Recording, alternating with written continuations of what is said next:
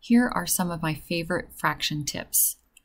For example, if you have a multiplication table, you can find many equivalent fractions. If I was looking for 3 fifths and equivalent fractions, if I look at the multiplication table and I highlight the row for the 3 and the 5, I can now see if I had the fraction 9 over 15, I can go back and see that that is equal to 3 fifths. Or if I needed to increase that fraction, I can do the same thing in a different row because maybe I needed, let's say I had 56 over 72 and I can go back here and see that that's equal to 7 over 9.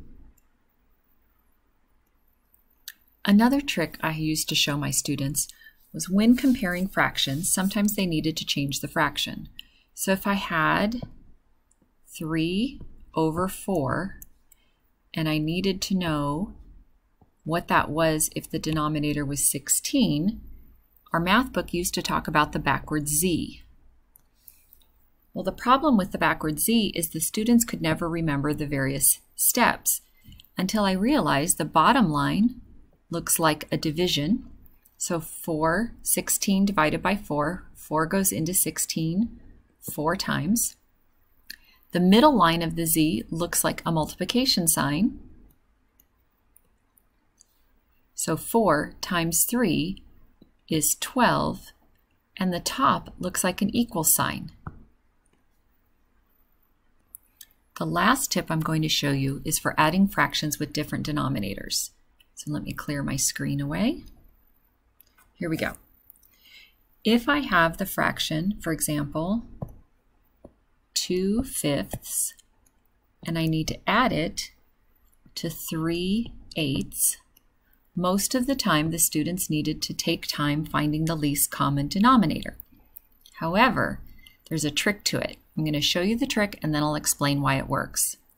If you take the one denominator times the other denominator, that gives me 40. 8 times 5, 5 times 8 is 40. Now cross multiply the numerator and the denominator, so that'd be 16 and 15 Add those together, and that equals 31. Now let's look at why that works. I'm going to write out the problem again. And I want you to think of this as ice cream. So this is chocolate.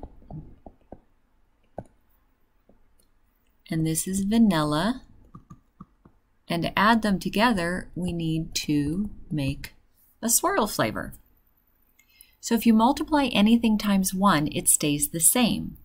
So I need to take some of my vanilla and add it to my chocolate and chocolate to my vanilla. So I'm going to multiply this times 8 over 8 because 8 over 8 equals 1. That would give me 16 over 40 plus now I need to take some of my chocolate and add it to my vanilla which would be 5 over 5 because 5 over 5 equals 1. 5 goes into 5 one time. That would give me 15 over 40 and I get my answer of 31 over 40 which is my swirl ice cream.